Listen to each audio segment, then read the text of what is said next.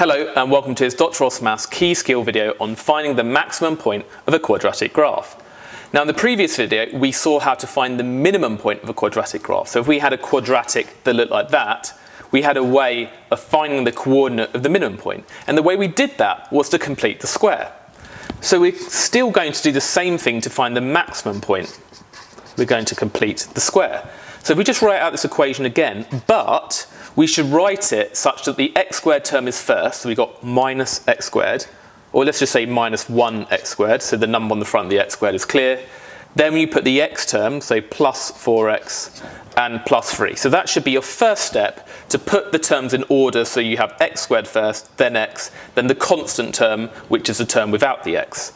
And then we need to complete the square. Now, it's slightly harder when you have a number in front of the x squared, and do watch my video on how to complete the square when you have a number in front of the x squared which is not 1. So what we do is we factorise that minus 1 in front of the x squared out of the first two terms.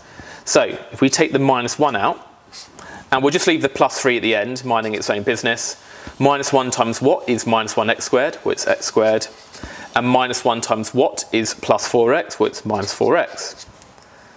And then inside this bracket we're going to complete the square.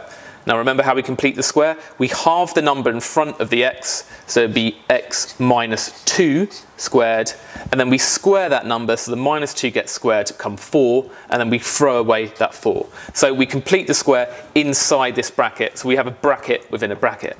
And then the final step is to expand out this outer bracket. So we do minus 1 times x minus 2 squared, which is minus 1 x minus 2 squared.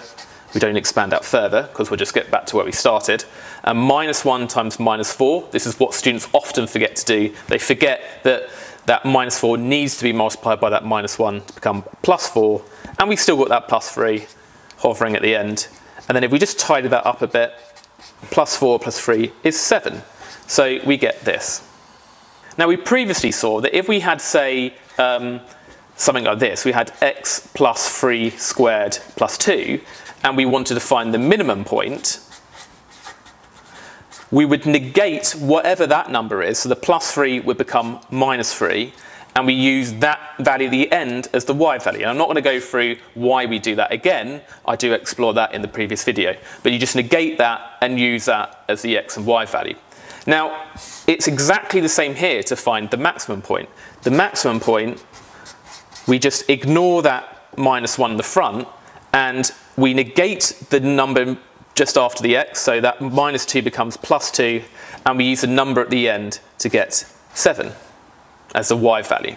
And that is the final answer. The reason it works is that if I write this uh, in a more convenient form, like 7 minus x minus 2 squared, we want to make y as big as possible because at this point here, y should be as big as possible. Now, if we're subtracting something, remember I said in the previous video that anything squared has to be at least zero.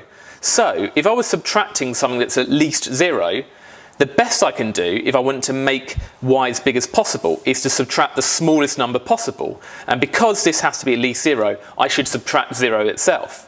Now to make this zero, x should be two. So if x was 2, you get 2 minus 2, which would be 0. And that's why it works.